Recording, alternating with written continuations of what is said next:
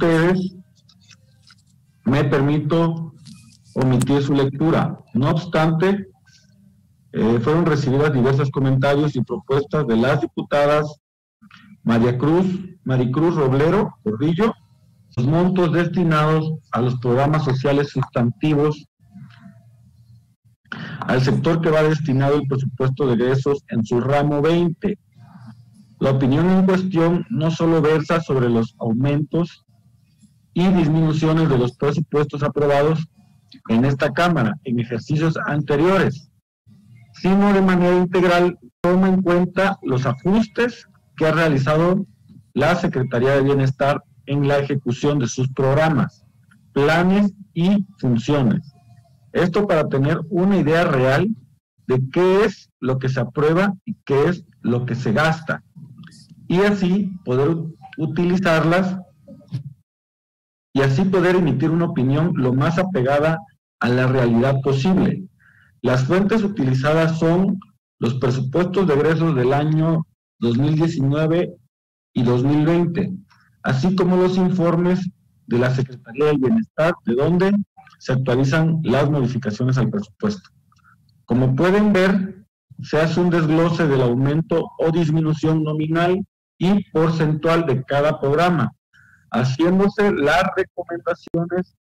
correspondientes respecto de los ajustes sugeridos para adecuarlos al contexto real de acuerdo al índice de inflación estimada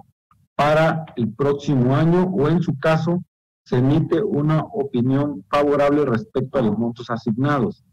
En la emisión de la opinión se tomó en cuenta las sugerencias de diputadas y diputados de la comisión que realizaron sus respectivas propuestas y consideraciones, mismas que se enviaron a la Comisión de Presupuesto y Cuenta Pública para que sean tomadas en cuenta en el momento de emitir esta. El dictamen de proyecto de presupuesto de egresos, de entrada podemos notar un aumento nominal en el presupuesto de casi el 5%, lo que en términos reales sería como un 1.5% tomando en cuenta la inflación. Para el próximo año, para el próximo año, sabemos que posiblemente se necesite más, pero en general es positivo. Revisando y ahorita tomando en, consideración eh, la opinión de eh, que va a emitir la eh, Comisión de Desarrollo Social sería una opinión favorable, positiva, por lo que menciono al último, que tenemos un aumento nominal de casi el 5% y en términos reales del 1.5, tomando en cuenta la inflación. Pero más allá de esto, pues es muy favorable que eh, los programas sociales tengan un incremento de este tipo eh, porque son pues los más desprotegidos, los que menos tienen, son los adultos mayores, son los niños, niños o adultos con alguna discapacidad, eh, y el tema del INSABI y de salud. Entonces, eh, es conducente comentar que sería una opinión favorable, positiva, este, considerando también todas las opiniones, las sugerencias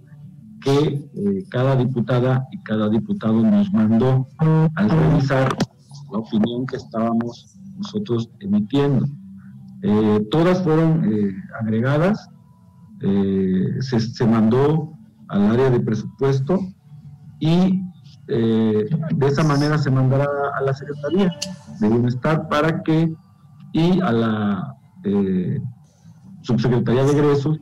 para que se tomen en cuenta todas las opiniones y sugerencias de las compañeras y compañeros diputados eh, este, fueron tomadas en cuenta, se están incorporando y agregando y se, dieron ahí, este, se anotaron y se les está haciendo saber al área conducente. Entonces, no sé si haya algún legislador o legisladora que quiera hacer uso de la palabra. Sí, presidente.